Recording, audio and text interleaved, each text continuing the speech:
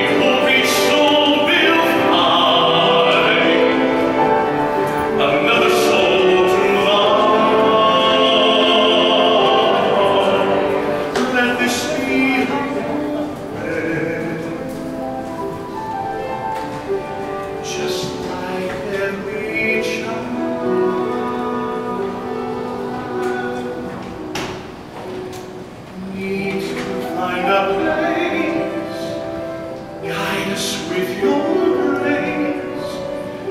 Give us faith.